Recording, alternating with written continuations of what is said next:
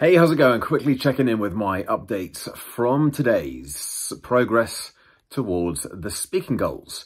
And it's been another fairly productive day. Normally after momentum, I feel a little bit uh, sluggish and slow and just um, find it difficult to concentrate. A little bit of that today. I still also managed to get a fair bit done, including had a really good meeting with an organisation that I sort of touched bases with a little bit last year um, called MD2MD, who I think a little bit like Vistage in the sense that they have uh, a membership of um, managing directors and other senior decision makers in a variety of different companies and uh, the based, I think they've got UK, Ireland, um, they're all across Europe and I think South Africa as well. And they run sessions, they run training, um, you know, speakers in, people like me, for example, to deliver sessions, deliver training sessions. And um, it's uh, it's another really good opportunity to just get in front of the um, the right people. And by, by all accounts, I know lots of other speakers who have spoken for them as well. It's quite good fun. So we've actually got a session booked in on the 30th, I think it is, 30th of March.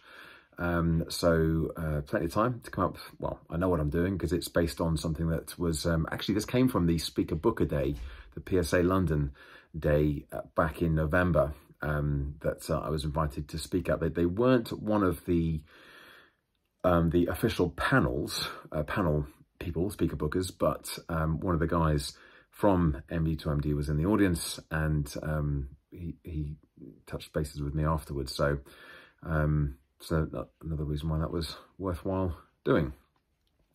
And uh, just being kind of forwarding and reconnecting with people as well. I uh, got some um, work to do to get information together for the Wellington College China Education Fest or EdFest, which is in April. So I've got to put together my final session um, content plan and bio and all those things, get them across to them as well. Um, and the uh, other piece of work that came through, I, think, I can remember I mentioned about it, is a resilience workshop that I'm going to be delivering. Uh, looks like it's going to be going ahead at the end of this month, a week on Wednesday, in fact.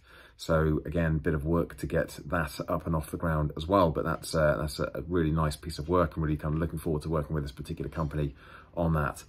Um, so that's not quite across the line completely in terms of the date. Um, it's definitely going to be happening, but just need to make sure we can get this date confirmed 100%, but it's looking good. So yes, quite a productive uh, day. Lots of things happening. The two types of productivity that I'm always keeping my eye on very closely. The first one is what am I actually doing uh, that's moving me forwards? And the second one is what's actually happening as a result of the things that I've been doing, because there's often a lag between the two. Um, and I feel like I've had a good bit of both today. And I've done other bits of work as well. Um, I didn't get my momentum thank you email out. Um, I did plan that, happening tomorrow, but I thought maybe I'll get a chance to do it today, which I didn't. Um, actually, that's not completely true. I probably could have had the chance to do that if I had not had the, um, the just a little bit of uh, lack of concentration and focus, um, which is what I'd been anticipating for a lot more of today. Uh, but that will be out the door tomorrow.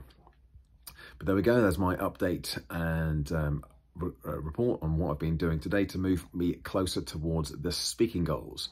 Thanks for watching. Thanks for listening. Give it a like, subscribe to the channel and check back in again tomorrow for another daily update. Bye for now.